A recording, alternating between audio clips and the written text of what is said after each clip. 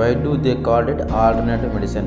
When it is the original medicine that humans have been using for thousands of years chemical medicines were discovered about 100 years ago.